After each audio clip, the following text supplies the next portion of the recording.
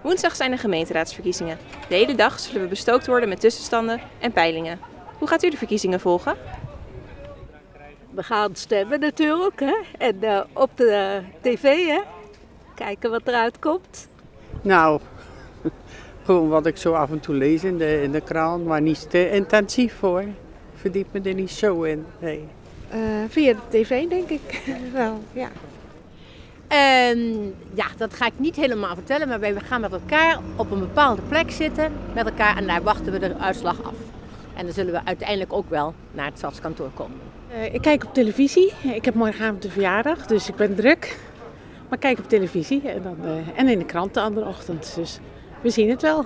Nou, ik denk gewoon op uh, tv en dan hopen dat er, dat er ook genoeg regionale aandacht is. maar eigenlijk de landelijke tv voor de televisie of via de krant. Maar ik ga er niet expres voor zitten of zo. Nee, dat doe ik niet. en wie denkt u uh, dat de meeste stemmen gaat krijgen?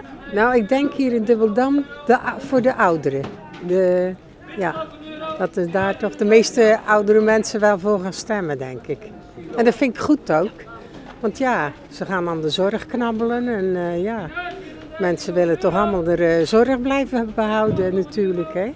En wie denkt u dat u in Dordrecht de meeste stemmen gaat krijgen? Welke partij? Ik denk uh, Beter voor Dort.